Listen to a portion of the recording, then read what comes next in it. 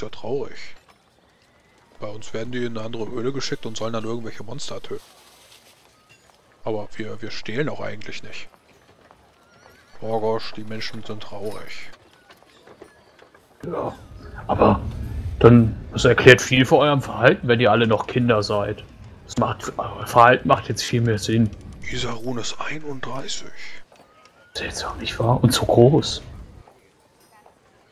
Immer, wie alt bist du denn? Bist du denn ja wenigstens ganz schon anders. 45? Dafür, dass du 31 bist, hast du ganz schön viele Falken. Ich bin vor drei Tagen 36 geworden.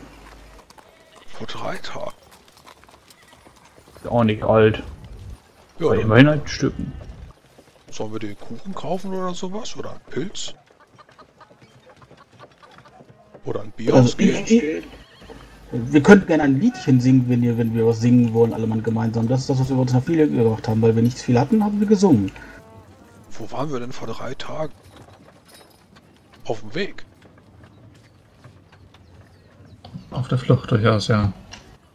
Wir singen natürlich nicht so schlau gewesen, das stimmt. Wir können eine Runde Zwergen stapeln. Nun, äh, damals hattet ihr vielleicht kein Geld, doch jetzt haben wir etwas. Hm, Geben wir euch doch einen Humpen Bier aus. Das ist sehr freundlich. Wir sollten doch zumindest die, ein, die paar guten Sachen, die wir erleben, feiern, oder? Jo. Wie gesagt, deswegen sage ich ja, singen ist eine schöne Erinnerung. Ja, immer auf deine nächsten 60 Geburtstage. Ha!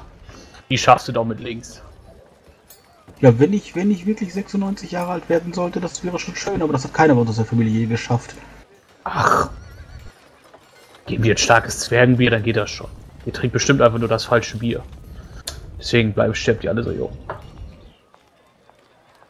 Ich weiß nicht, ob das so funktioniert. Ja, Man kann es aber versuchen, vielleicht ist es eine Änderung und vielleicht äh, wirkt sie wirklich, dass ich das älter wäre. Ach, das kann schon schaden. Ich meine, das finden wir eh schon in bald 60 Jahren raus. Ich meine, das ist ja schon praktisch morgen. Jeder von euch darf einmal eine Heilkunde-Seele-Probe schmeißen. Jeder von euch. Wenn man es nicht hat, was passiert dann?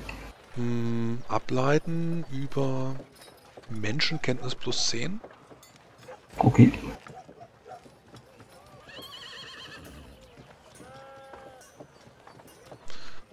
Genau, da dürfte Isarun, wenn sie möchte, einen Schicksalspunkt benutzen. Entweder für die ganze Probe oder nur für einen. Das kannst du dir überlegen. Zwei Würfe kannst du dir nicht benutzen.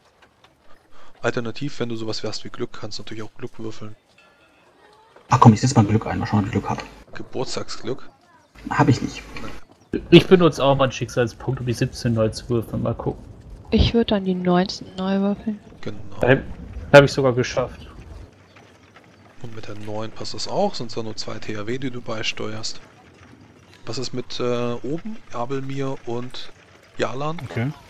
Ihr habt ja natürlich die gleichen Probleme. Es ist halt unglaublich deprimierend. An eurem letzten Abend in Pareine Furten brechen nochmal so die letzten paar Wunden auf. Der Abend wird nicht besonders schön. Ihr gebt euch nochmal dem Bier hin. Wie viel Punkte hat der Torgosch? Äh, zwei. THW Let's- 12. Achso, okay, das war Menschenkenntnis, gut. Vielleicht kann man ja, wenn man genug trinkt, das mit Zechen ausgleichen. Ja, würde ich, würde ich, äh, würde ich genehmigen. Ihr dürft alle mal eine Zechenprobe hinterher schmeißen. Der Abend wird wirklich nicht schön. Ähm, wie gesagt, ihr seid jetzt in Sicherheit in den weißen, weißen Landen, Weißtobrien. Äh, Das letzte Mal seid ihr nicht auf der Flucht. Und morgen geht es wieder weiter, gemeinsam mit dem Herzog. Und dann wartet wieder eine weitere Quest auf euch, dass ihr Lutisana von Perikum nach Gare bringt. Eigentlich hättet ihr Grund zu feiern, aber so. Dorgosch gibt sich dem Alkohol hin. Ömer wird irgendwann aufhören und dann mit Kopfschmerzen nach oben wanken, während Torgosch weiter und weiter trinkt. Und auch Isarun dürfte dem Alkohol standhalten. Ja, so als ehemalige Offizierin in der Reichsarmee ist man dann vielleicht doch das eine oder andere äh, Soldatenbesäufnis gewöhnt. Ähm, sie wird dann auch relativ lustig. So locker habt ihr sie noch gar nicht gesehen. Ja, sehr schön. Was passiert denn da? Einfach, dass sie erstmal viel mehr lächelt, lacht, dann den einen oder anderen Schwank aus ihrer ähm, Zeit mit dem ersten kaiserlichen Garderegiment von Gareth zum Besten gibt. Wie zum Beispiel irgendwelche Soldaten in den Pferdemist gefallen sind oder sich gekloppt haben. Sowas findet sie lustig. Alles klar. Gut. Äh, Bei mir passiert wahrscheinlich genau das Gegenteil. Ich vertiefe mich wieder so ein bisschen, werde konzentrierter, schreibe wieder einen Bericht. Nipp immer wieder so am Wein. Ja, Torgos stellt die Vermutung auf, weil ihr so wenig Alkohol vertragt, sterbt ihr auch so früh und glaubt jetzt, dass Isarun am längsten von euch allen leben wird. die Wuchtentypen. Ja, vielleicht, vielleicht wird die doch 100. Ich, na, ich glaube doch. Verträgt das ganz gut. Schauen wir mal. Wir können ja zugucken, wie sie älter wird. Aber bis 100 habe ich noch Zeit. Ja, eine Regeneration, wenn ihr mögt, wieder plus eins durch die guten Betten. Und dann brecht ihr am nächsten Tage auf, gemeinsam mit dem Herzog hätte- und der Wulfengarde. Ich hätte vorher noch ganz kurz was zu tun. Äh, ich laufe beim Herold vorbei, melde, dass Bospa tot ist. Und äh, gebe Anspruch, jetzt Oberhaupt meines Hauses zu sein. Weil der Rest tot ist. Das wird so eingetragen. Gut. Treffe ich den Rest bei der morgendlichen Vorbereitung. Die Wolfengarde ist angetreten äh, mit ihrem Wappen, dem zweiköpfigen ja, Tier, dem Wappentier, was euch natürlich unglaublich widerlich wieder mal an Jol Gomak und die zweiköpfigen Hunde erinnert. Äh, die Hetzer von Sokramor. Mm, Die allerdings allesamt gestandene Kerle, äh, die dann dem Herzog äh, anvertraut sind. Und äh, ja, so wird man die nächsten zwei Tage auf den Pferden in Richtung der Burg von Bernfried reiten. Immer noch kurz bevor wir losgeritten sind, 10 Dukaten an den Bohrtempel hier gespendet vor Ort, schnell. Noch irgendwas, was ihr vor der Abreise tun wollt am letzten Tage oder geht's los? Vielleicht ein bisschen Reiten üben. Könnt ihr natürlich tun. Könnt auf, der Weg, äh, auf dem Weg in den zwei Tagen. Äh, wird nicht so viel passieren. Ähm, es geht die Straße nach oben, rauf in die Berge. Ähm, viel Regen, vor allem dann hier, die es dann am Gebirge hängen bleibt, die ganzen Wolken. Und äh, ja, man ist froh, dass es eben nicht schneit oder nicht mehr schneit, sondern dass es jetzt eben richtig Frühlingsregen ist. Äh, zusammen mit dem Wind, der dann immer ein bisschen steigender wird. Es ist äh, zwar kalt, aber nicht unangenehm. Eher ihr erwartet eigentlich den Sommer, dass es wieder warm wird. Irgendwas, was ihr tun wollt auf der Reise, außer reiten lernen, euch unterhalten, euch kennenlernen. Irgendeine spezielle Szene, die ihr auch spielen wollt. Ja. Magestra, sag mal, Mhm. wenn wir, äh, nachdem wir Lulisana an Gareth abgebracht haben, geht ihr dann wieder zurück nach Tobrien? Spogeln Nein. vielleicht? Nein, voraussichtlich nicht. Ähm, es ist so, dass Pfeile des Lichts immer für ein halbes Jahr nach Peranefurten geschickt werden. Meine Zeit ist dort nun um. Magister sonst? Gerstenkorn ist meine. Ähm, ich werde sehen, also unser Hauptordenshaus liegt natürlich in Gareth in der Akademie Schwert und Stab. Dort werde ich einfach auf meinen nächsten Auftrag warten. Ihr seid also auch nicht besser dran als wir, hm? Von einem Rat von einem Ende der Welt ins nächste geschickt zu werden. Das ist wohl wahr, das ist wahr. Aber dafür haben wir uns ja verpflichtet. Geschieht alles zum Wohl des Reiches, des Herzogtums und des Volkes natürlich. Ich hoffe, dass das Volk auch noch so sieht, wenn wir erstmal fertig sind. Das ist natürlich zu hoffen. Natürlich kann das Einfachvolk nicht immer verstehen, was wir für Opfer auf uns nehmen müssen. Damit müssen wir leben. Ich wünsche am liebsten niemanden mehr zu opfern. Nun gut. Machen wir weiter. Dann erhebt sich trotzig vor euch die Bergburg. Auf den Gipfeln, so heißt es, habe seit alters her diese Befestigung gethront, gestanden der Grundstein, älter als Bosbaran. Von Drachen erbaut. Zumindest sagt das immer wieder der Herzog. Und auch die Wolfengarde. Ob das stimmt? Wer weiß das schon. Nun, ich werde wohl kaum den Herzog in Frage stellen. Also stimmt das wohl.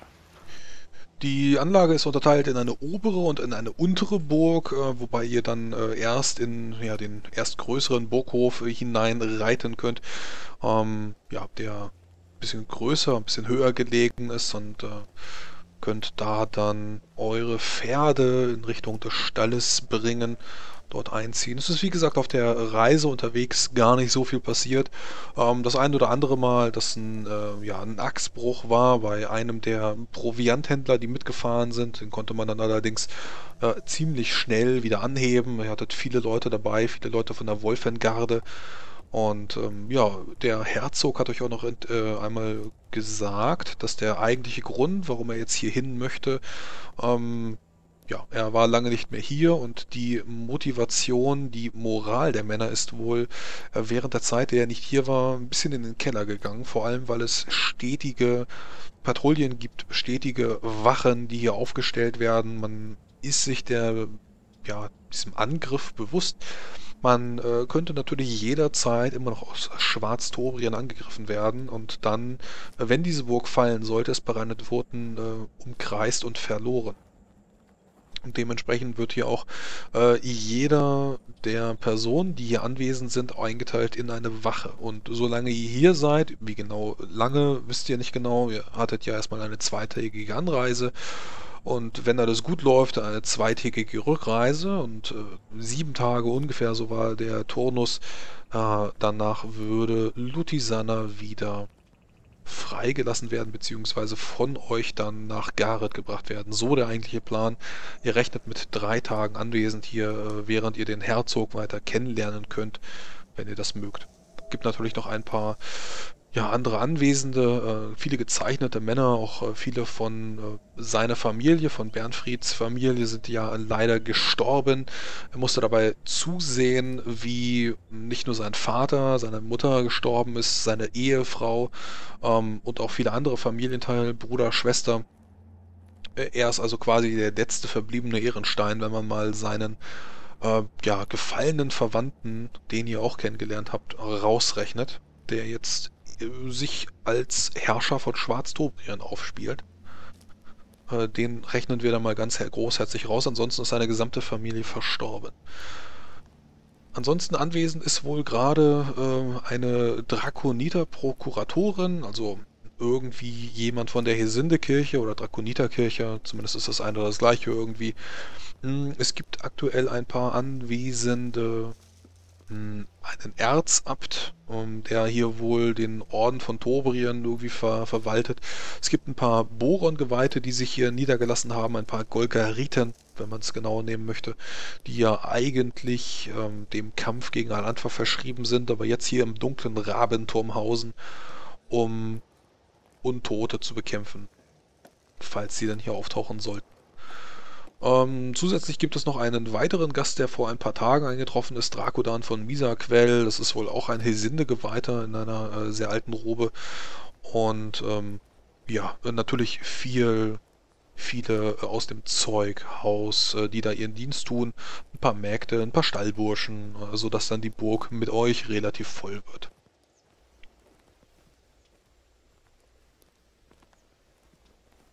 Genau, regenerieren dürft ihr ganz normal. Alle, mit Ausnahme Jalan. Jalan regeneriert nicht.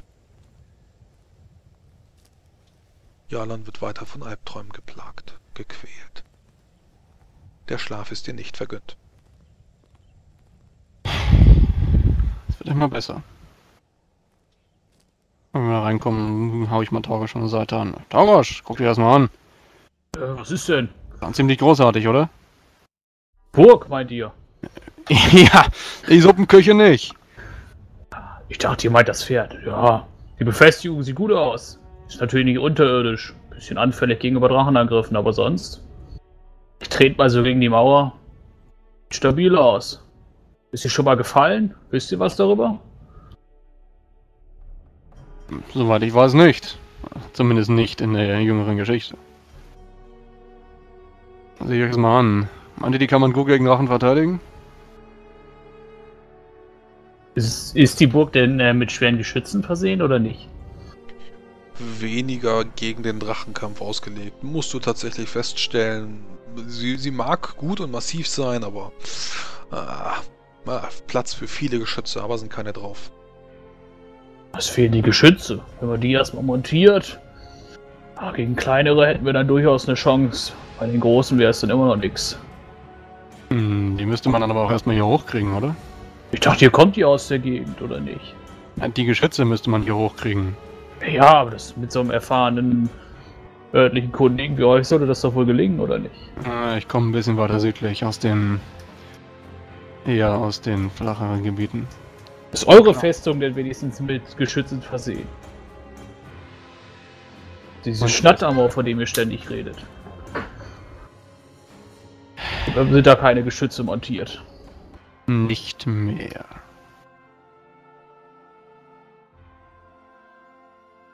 Naja, So, wer bin ich, euch da zu richten? der Herzog ist noch einmal an euch herangetreten, während ihr äh, von einem Stallburschen eure Pferde hat, äh, habt abnehmen lassen. Äh, natürlich wird das vom Herzog als erstes versorgt. Er tritt dann nochmal an euch heran, während er da seinen Rucksack nochmal weitergibt. Äh, es tut mir leid, äh, ist es für euch in Ordnung, wenn ihr mitunter die Wachen verstärkt? Wir haben, wie gesagt, ein bisschen mit der Moral zu kämpfen. Ich werde dem, äh, dementsprechend noch ein kleines Schwerturnier in ein paar Tagen veranstalten, um äh, weiter die Moral zu erhöhen. Ein paar äh, Bierfässer, die später noch verdünnt äh, rausgegeben werden. Ein paar Dinge, die eben noch anstehen. Ist es für euch in Ordnung, dass ihr die Wachen übernehmt? Aber selbstverständlich doch, Euer Hoheit. Wir tun, was auch immer wir können, um zu helfen. Gut. Wenn ihr irgendwas braucht, ihr könnt natürlich die, äh, die Rondra-Kirche mit benutzen. Ähm, ihr habt Zugang zumindest zu der kleinen Bibliothek. Die große, das grüne Skriptorium, äh, ist wohl nicht freigegeben und auch der Rabenturm soll von den äh, von den Golgariten genutzt werden.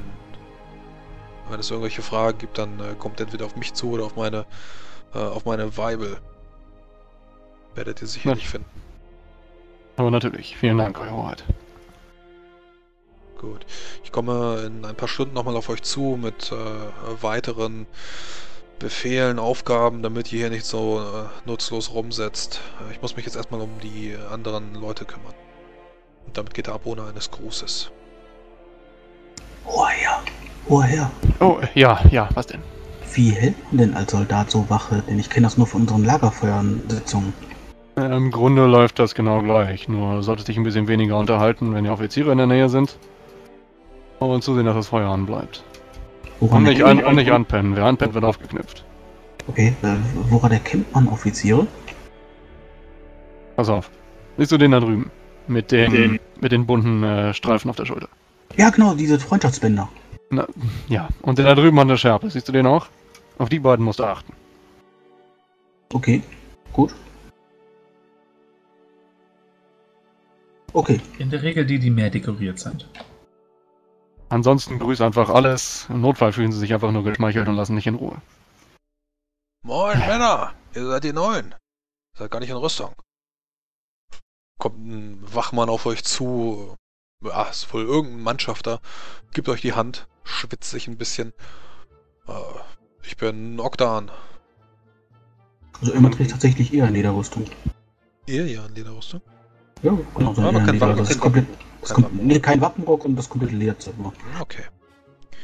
Ich bin Oktan. Äh, habt ihr, habt ihr ein paar Gerüchte für mich?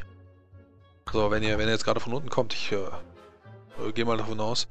Äh, Mit den, mit, den, mit den anderen Wachen kannst du nicht erstmal reden. Die wollen erstmal ankommen und sich auch äh, hier die Spinde wieder einräumen. Was, was seid ihr denn für Leute? Ich bin Ritter Greifenmund, das ist mein Gefolge. Wir begleiten seine Hoheit für einige Tage. Spannend. Was, was habt ihr in so an Gerüchten mitgebracht? Gibt's irgendwas Neues? Man hört so wenig von unten. Daran Ja, habe uns die ja, Lage der ich hab ja gehört, ich hab ja gehört die, die militärischen Erfolge im letzten Sommer.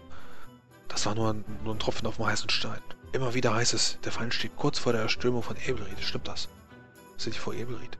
Der Feind steht seit fünf Jahren kurz vor der Erstürmung von Nebelried. Solange jeder mutigen Herzens ist und die Geschütze geladen bleiben, kommen die da nicht drüber.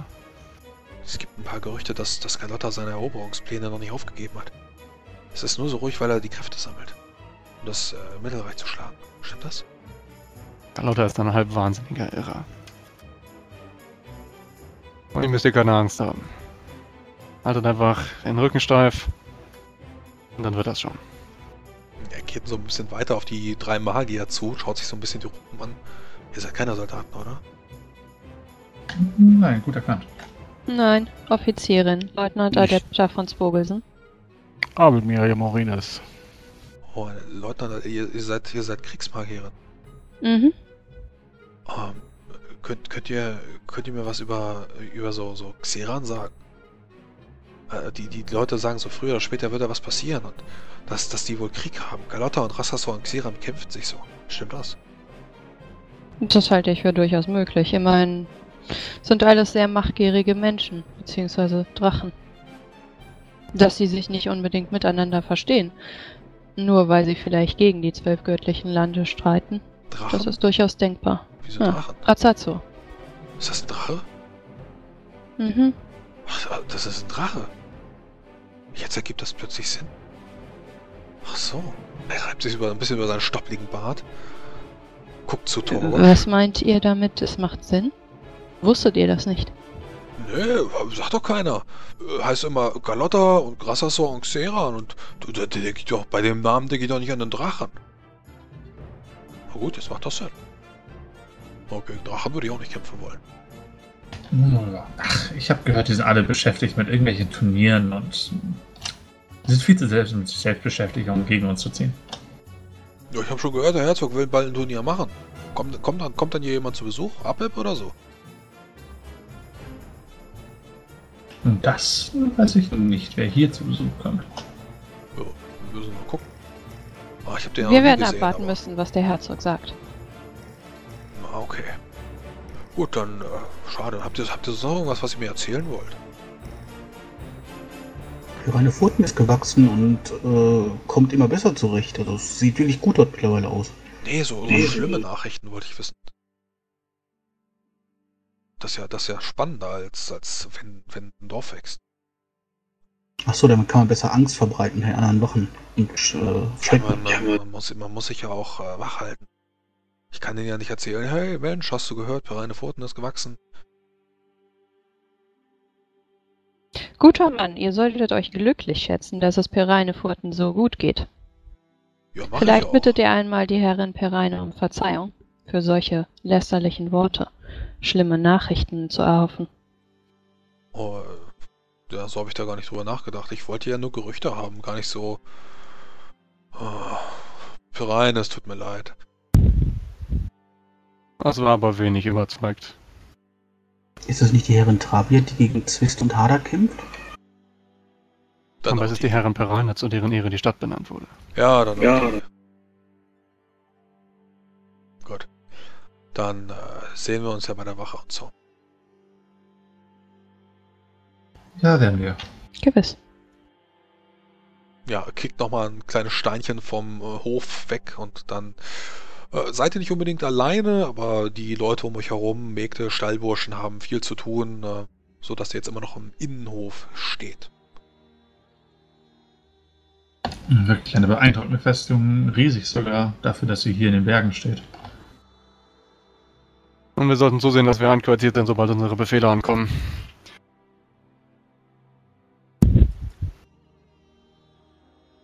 Nun, ich hatte nicht damit gerechnet, dass wir Wachdienst schieben werden, nachdem ich gehört habe, weswegen wir mitgekommen sind. Naja, Wachdienst ist auch wichtig. Bis jetzt hat sich noch kein Drache geblick, erblicken lassen, nicht wahr? Ja, vielleicht sollte ich es nicht herausbeschwören. Richtig.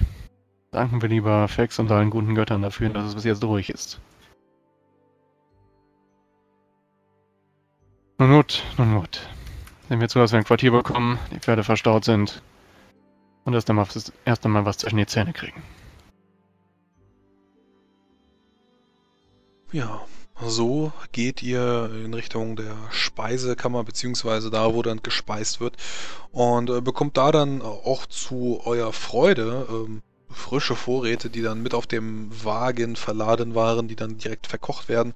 Natürlich, um die Moral zu steigern. Es gibt ja auch dann nicht nur einfach einen Kohl, sondern noch äh, ja, Fisch, der dann aus V- Valusa mitgebracht worden ist und irgendwelche anderen Meerestiere äh, das gute, gesunde Zeug, was dann eben äh, auch mit einem äh, ziemlich guten Koch ähm, ja, verarbeitet worden ist. Also, dass ihr hier dann mit etwas Bier, etwas Wein für dann die hohen Herren, die Adligen, gereicht wird.